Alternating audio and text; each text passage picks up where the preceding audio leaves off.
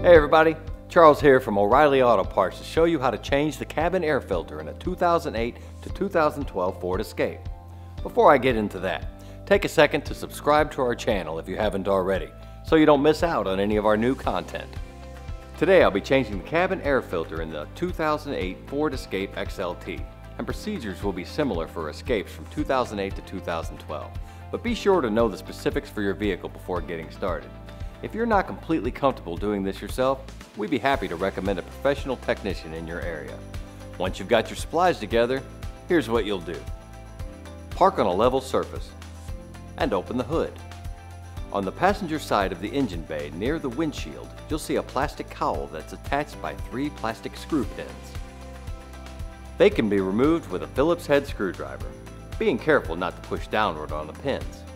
It may help to use your fingers to apply slight pressure upward on the bottom of the pins. Once the pins are removed, reach under the cowling to disengage its tabs along the windshield by pushing up.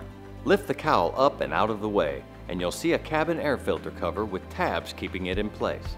Our vehicle didn't have a cabin filter installed, but if yours has one, just lift the cover up and remove the old filter.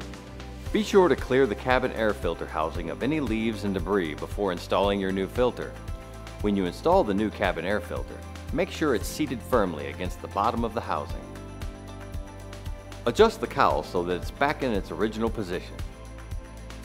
Then, reinstall the three plastic screw pins.